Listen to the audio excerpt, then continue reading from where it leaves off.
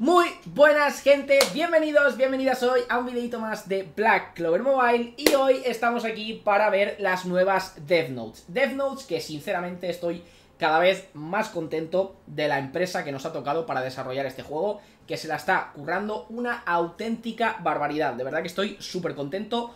Cuartas Dev Notes en apenas un poquito más de un mes de juego. De verdad que estoy flipando, estoy súper contento, que es lo que debería ser, porque al final nos están ofreciendo un servicio, nos están ofreciendo un juego y el juego y el servicio tiene que ser de buena calidad. Estamos acostumbrados a jugar a cada mierda que cuando vemos algo que es de buena calidad, pues decimos, hostia, es increíble, hostia, si es que nos están informando de esto, hostia, que se están disculpando por esto otro. Que también os digo, precisamente lo estábamos hablando de esto en directo, ahora que estamos en directo, estoy grabando esto en directo, vaya, de hecho, te aconsejo que te pases por, eh, por Twitch, que lo tienes abajo en la descripción Estábamos hablando de que esta gente se está incluso disculpando de más. A veces sabe hasta mal, porque en prácticamente todas las publicaciones se disculpan por algunas cosas.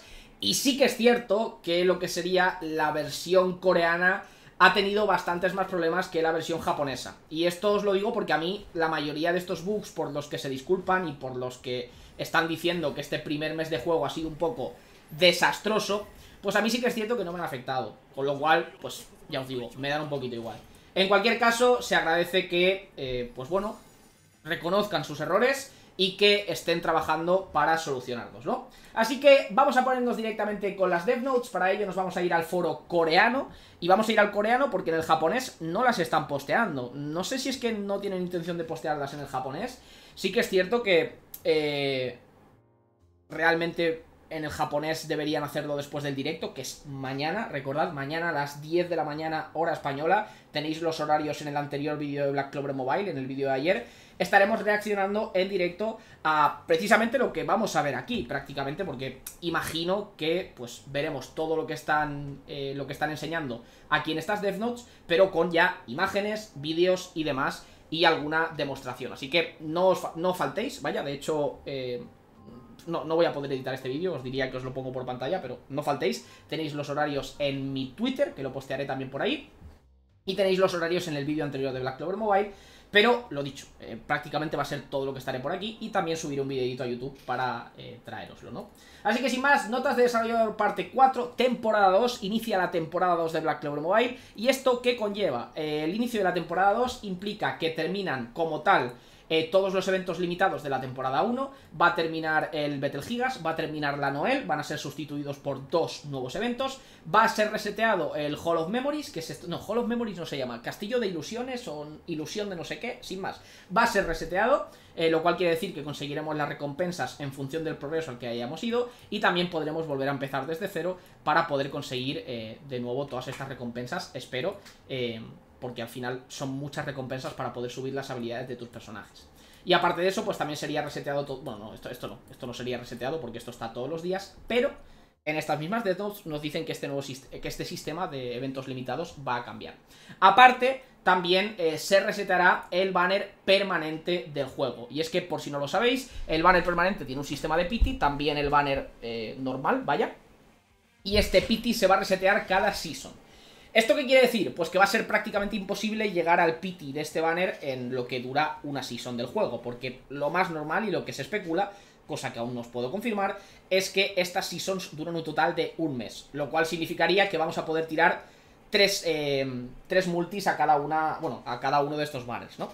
Con lo cual, pues ya os digo, va a ser imposible llegar al pity de este banner, cosa que me pone un poco triste, a no ser que, yo qué sé, en algún momento se den cuenta de que el sistema así no está muy bien hecho, porque literalmente el sistema de pity es como si no existiese, porque ¿quién va a tirar gemas aquí? ¿Quién va a tirar tickets aquí cuando están los banners promocionales? Pero bueno, habrá que esperar a ver si en algún momento se dan cuenta de, de esto, ¿no? Así que empezaría la Season 2 con la aparición de los nuevos personajes Seasonal, lo cual mola y a lo cual le tengo muchísimas ganas porque ya sabemos quiénes son y pues los correspondientes eh, nuevos eventos que veremos en estas Death ¿no? Así que continuamos y nos dicen ya directamente que empieza el nuevo, el nuevo mago de temporada, que en este caso van a ser tres nuevos magos, que van a ser personajes de verano, personajes en traje de baño, que estamos aquí viendo sus siluetas, que serían nada más y nada menos que Juno, Noel y Ghost. Eh, ¿Por qué Ghost? No lo sé. Juno y Noel lo puedo llegar a entender, y más cuando Juno eh, fue eliminado de ese primer banner promocional eh, de Season que, hubo en Black Clover Mobile, el banner de los, de los personajes de, de, de escuela, de colegio, de universidad, como lo queráis llamar, vaya. Pero, ¿por qué Ghost? Pues no lo sé, sin más. Recordad que vamos a poder conseguir totalmente gratis uno de estos personajes. Y es que gracias al sistema de la puerta de Black Clover Mobile, vamos a poder desbloquear de forma totalmente gratuita y a elección a cualquiera de estos tres magos. Eh, la Season 2 empezará aquí. Si no tenéis aún la llave, significará que no habéis hecho aún las misiones mensuales, cosa que yo tampoco he hecho, pero que, recordad, las podéis hacer aquí. Eh, lo más difícil de estas misiones mensuales es esto que estáis viendo aquí, que es hacer las misiones diarias durante 30 días. Con lo cual no es algo de lo que, de lo que os tengáis que preocupar. Vais a poder hacer esto sin ningún tipo de problema. Y en el momento en el que completéis esta, estas misiones mensuales, conseguiréis esta llave que os desbloqueará ese, ese modo, esa, esa puerta, y podéis desbloquear a vuestra elección el mago que vosotros queráis. De momento no se sabe absolutamente nada de cuál de los magos es el mejor o cuál de los magos es el más interesante, porque lo único que hemos podido ver son sus siluetas, pero ya veremos seguramente mañana qué es lo que son capaces de hacer cada uno de ellos, ¿no? Así que maravilloso. Nuevo modo desafío, eh, jefe mundial. Jefe mundial en el cual vamos a tener que colaborar todos los jugadores de Black Clover Mobile para básicamente hacer una especie de progreso. Es decir, nosotros vamos a estar haciéndole daño a un enemigo y al hacerle daño a un enemigo pues estaremos subiendo un ranking. Ese ranking vamos a estar subiéndolo en total, en conjunto, todos los jugadores de Black Clover Mobile. Con ello vamos a poder conseguir recompensas y lo que se espera también, por lo que vemos aquí en la traducción, que como siempre la traducción es un poco regulera, eh, también podamos conseguir recompensas en función del daño que hagamos. Es decir, no solo va a importar el que la comunidad llegue a hacer X cantidad de daño, sino que si tú evidentemente pues estás aportando más, estás haciendo más daño y tal, pues conseguirás recompensas adicionales. Como os mencionaba, todo esto lo veremos una vez entre al juego, pero lo más normal sería que, que funcionase de esta manera, ¿no?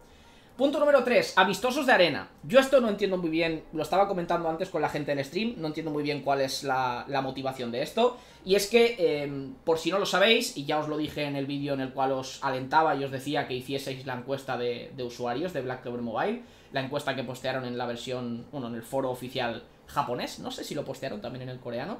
Y también os animo siempre a que escribáis y pongáis vuestras opiniones en el foro, porque de verdad que las toman muy en cuenta y se nota, ¿no?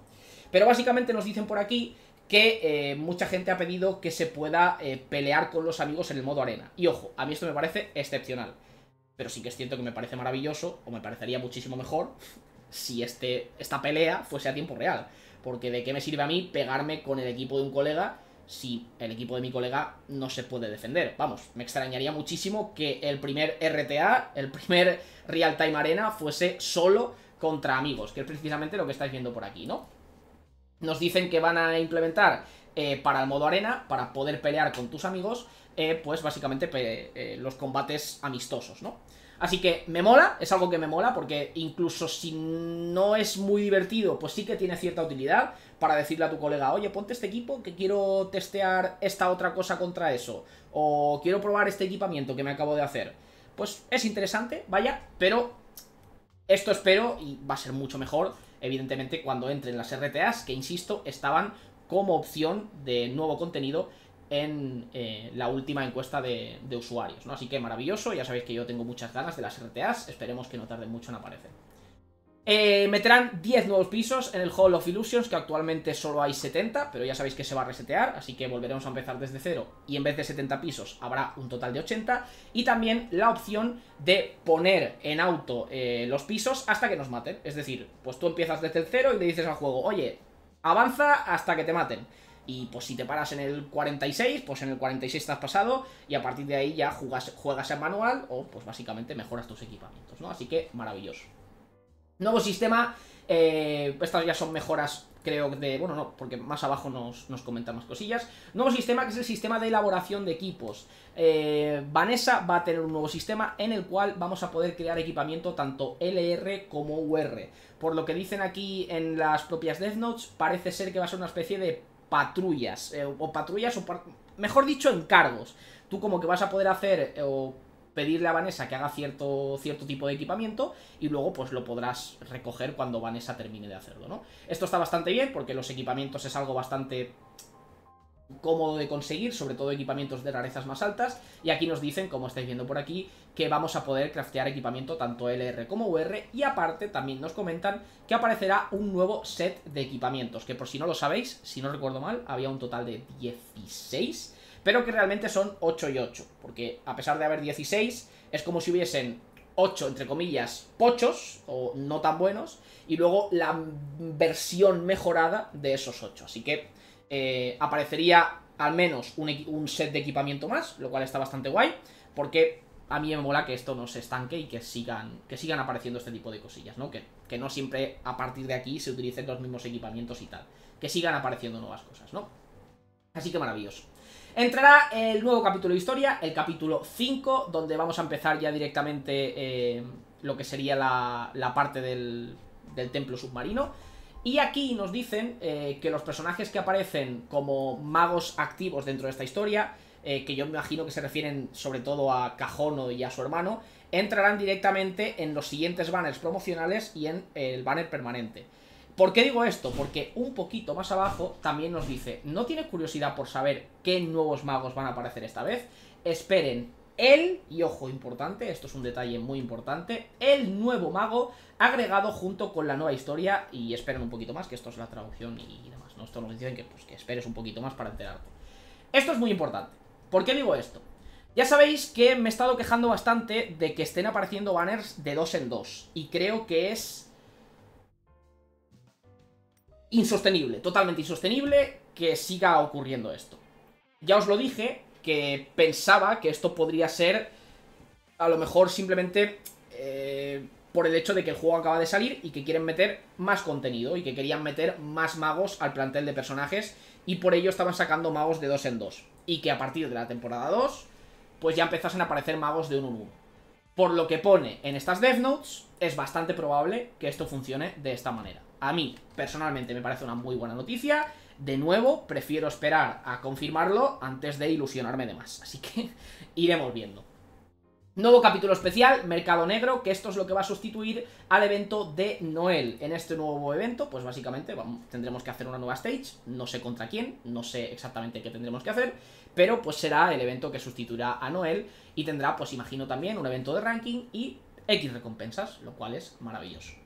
Reorganización del sistema eh, de conveniencia, reorganización del sistema de tiempo limitado. Aquí, y esto es algo que también estaba comentando en el directo, eh, nos mencionan que a pesar de que les gusta el sistema de eventos de, tiempo limitado que hay dentro del juego, mucha gente se ha quejado y se han dado cuenta de que no todo el mundo está utilizando todos los eventos de tiempo limitado que hay dentro del juego. Y ojo, con razón.